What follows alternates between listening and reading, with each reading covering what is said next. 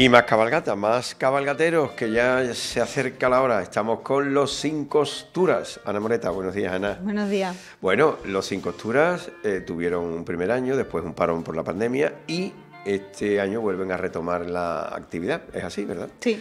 Oye, eh, ¿cómo salió eso de- del nombre de los Sin Costuras? Te lo pregunté en su día, pero vamos a refrescarlo. Porque no llevamos costura. Eh, así de sencillo, ¿no? Pero vais a seguir esa línea, ¿no? Sí, y este año más que incluso la primera vez. Sí, ¿no? Bueno, este año vais en el puesto, me decías, Trece. 13, ¿no? Mm. ¿Soy supersticioso? No mucho, pero llevamos... Bueno, ¿cuántos sois? Somos 37. Menores de 50, ¿no? Menores ¿Siempre os vais a 50. mover ahí o, o estáis abiertos a que haya más gente? Eh, en el primer año fuimos 100 y 103 o 106, me parece que éramos. Ajá. Y este año se ha reducido el número, menos mal, Sí, ¿no? menos mal. ¿Trabajáis más cómodo? Eh, no es que trabajemos más cómodo, no, es que las circunstancias de este año han sido eh, muy raras. Muy rara.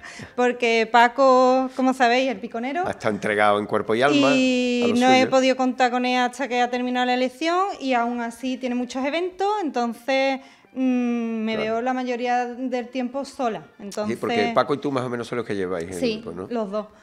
Pero Paco, mm, como yo digo, digo, tiene una mente el tío que es que, Sí. digo, vamos a hacer esto. Y él me dice, pues por aquí, por ahí, por aquí.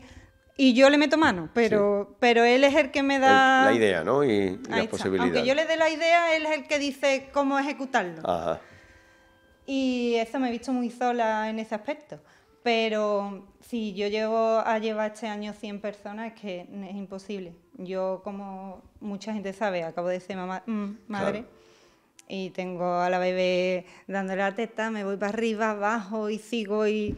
mm, Bueno, has sido has sido, has sido valiente tú, ¿eh? Te has arriesgado Sí. ahí teniendo una. Bueno, y pequeña- aparte, eh, mi coqui, como yo digo, que es el que me hace la carroza, Sí. con, con bebé También, doble. Doble, exactamente, exactamente. Entonces, allí, como yo digo, arriba la guardería y abajo el taller de, de costura.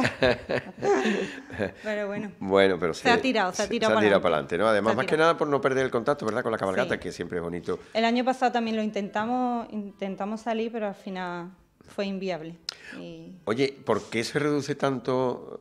Te ha pasado a ti, ha pasado a muchos grupos, ¿no? Grupos que eran mayoritarios y ahora se reduce el número. ¿Qué puede yo no ser la sé, causa? la gente está muy fría, ¿eh? Sí, yo ¿verdad? veo este carnaval muy, Muy raro, ¿verdad? muy raro. Muy raro. Ha costado mucho trabajo arrancar, mucho, mucho, mucho. Eso es lo que pasa, que si no se arranca pronto, después... pff, Que por eso también no queríamos dejarlo, porque a mí no... mu- Mucha gente me llamó loca. ¿Dónde vas ahora a meterte a carnaval con la niña tan chica, el Paco que no está, no sé qué? Pero hay que tirar, es que si no salimos, mm, sí que se muere. Claro, claro. Y bueno, ha quedado ahí un grupito que eh, se está comportando, está echando una Sí, mano, sí, sí, ya que estáis tan apurados, sí, ¿no? sí, sí. Y Paquito está buscando sus huecos de piconero sí, para meterse Paquito cada ahí, ¿no? Paquillo, vente aunque sea 15 minutos, necesito que me ayuden en esto. Muy bien. Eh, ¿En qué puesto me has dicho? En el 13 y os llamáis En el 13, nos llamamos mucha mierda. mucha mierda. Porque vamos de muchos amuletos de la suerte, que para mucha gente, los que no son supersticiosos, eso es una cagada, eso es, Sí, pero eso es mierda todo. pero para otros sí, entonces. Pero nos ha tocado además el número 13 que es de la mala oye, suerte. eso digo yo, que- tú qué coincidencia, eso quiere decir algo, ¿eh? Sí. Eso quiere decir algo. Aunque, ¿Quién nada. está en la carroza? ¿O lleváis carroza? Sí, llevamos una carroza pequeñita porque la que teníamos era bastante grande y mm, se veía más carroza que, que componentes que somos. Entonces hemos optado por hacer una plataforma más chiquitita.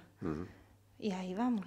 Y hay una serie de personas ocupando sedes, otras de otra infraestructura, Pues, o pues ya te digo, mismo? tengo a Coqui Ahí. que se lía los sábados y los domingos porque el pobre no tiene tiempo de más. Claro, los días laborables. Mm, y, y yo le estoy metiendo mano esta semana. Es que ese la carroza va a salir como salga. Ajá. Como yo digo. Por llevar algo, Por ¿no? llevar y por llevar la música, porque tampoco llevamos músicos. Ajá. Vais con megafonía, claro. Vamos sí. megafonía y tenemos que Bueno, el tipo a lo mejor también lo da, ¿no? Que, que no haga falta tampoco llevar mucha música, ¿no? Porque Sí. si vais de amuleto y demás, supongo que el tipo, bueno, no vamos a desvelar todo, porque si no, ¿para qué está la cabalgata después? Si lo vamos a contar todo. Pero ahí habrá una puesta en escena, supongo, claro, ¿no? Que también se encarga Paco de ella y tú. Eh, no, eso lo hemos delegado a una amiga que, que le gusta bailar y la hemos puesto casi por obligación. Tú eres a ti te ha tocado y te ha tocado. ¿Tenéis local para trabajar y demás o qué? Mira, teníamos el local del Paco, donde guarda el padre las cosas de pintura, vamos, el trastero, como yo le llamo. Sí. Pero con el tema que Paco no estaba. Mm, yo cada dos por tres me llamaba a mi suegra, Ana, la niña quiere la teta. Para acá y para allá, para acá y para allá, claro. No podía dejar a la gente sola en un local donde yo no tuviera... Entonces, he ocupado... A ver. He ocupado el garaje de mi suegra, que yo no sé... Suegra. yo no sé cómo esa mujer me deja hasta allí todo lo que tengo liado. Te hacemos un monumento desde aquí por abrirle las puertas a ellos, porque si no es así, es que no se encuentran. Es que no. Que no hay. No. Y tengo el garaje, ya te digo, que da miedo de entrar. Porque es que estamos haciendo allí todo. Todo, ¿no? Disfraces, carrozas, todo, todo. Bueno, después se deja todo recogido y no pasa nada. Claro, después. Eso será el lunes de resaca cuando se haga. Menos mal que ahora viene un puente que lo vamos a, dedicar a, limpiar, vamos, porque. Muy bien. Oye, ¿y el tema económico cómo lo lleváis? ¿Vais pagando cuotas mensualmente o cómo lo hacéis? Eh, mira, eh, nosotros hemos, hemos intentado no pedir mucho dinero, pero que la gente aporte lo que sabe hacer. Claro. Pero aún así nos hemos visto este año. Es que está todo muy caro también, ¿verdad? Ha subido todo una barbaridad. Una barbaridad. Nos quitamos la costura también por el tema de ahorrarnos Ahorrar la costura. algo, claro. Porque tampoco encontramos una costurera que quiera hacer hmm. mm, trajes de, o sea, disfraces claro, en por poco dinero. Y por poco dinero, claro. Con todo el trabajo que tiene. Es que eso es. Entonces dijimos, este año sí que no se va a coser aquí ni una pata una máquina. Vamos. Pero aún así los materiales han subido muchísimo. Y ya te digo, nosotros pagamos 100 euros. Y nos hemos visto cogido, cogido, cogido, cogidísimo. Siempre falta, ¿verdad? Después porque te pones a añadirle cosas, porque te sale esto que no sabía, aquello que tú habías presupuestado ahora vale más caro. Eso lo tienen que comprender también la, las y hemos comprado un material a un precio, ahora nos ha faltado y está al doble. Claro, claro. Es que... Pero, ¿desde cuándo empezasteis? Pues mira, empezar, empezar, hemos empezado en enero, después de Reyes. Aunque la idea ya estaba de antes, pero ya te digo que nos ha costado muchísimo trabajo calentar a la gente.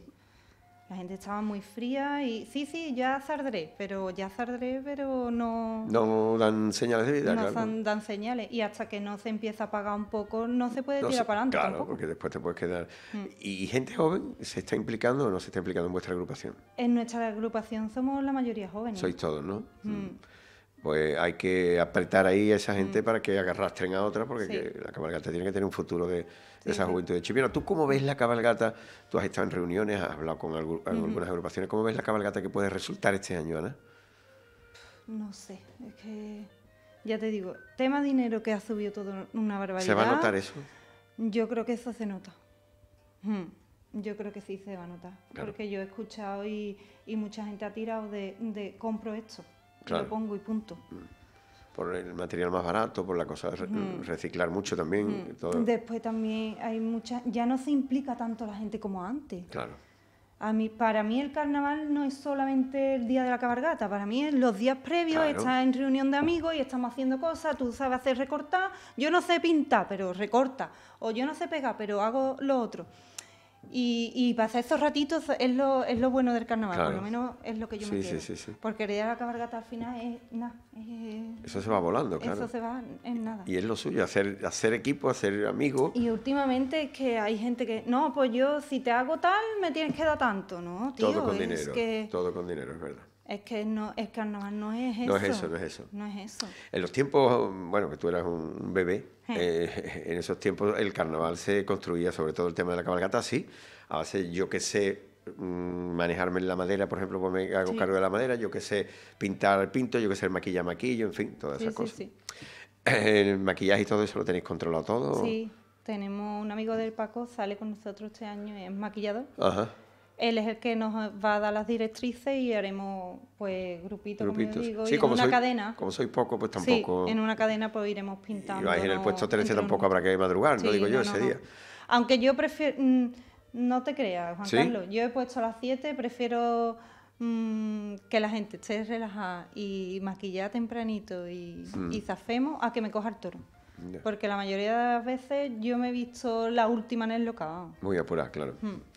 Oye, y si quieres añadir algo tú, decir algún mensaje a tu gente, aquí tienes el, momento, tu momento, es tu momento, ¿qué diría, que, diría aquella? No, no sé qué decir, que, que animaros, que la cabalgata es muy bonita, pero que, que aportemos todo lo que, lo que sepamos hacer, que no que no se puede pretender ir a, mm, hacer un negocio del carnaval, porque eso para mí no es carnaval. Carnaval es reunirte con tus amigos, aportar lo que cada uno sabe y disfrutar de esos momentos, porque eso es lo que te lleva al final. Claro.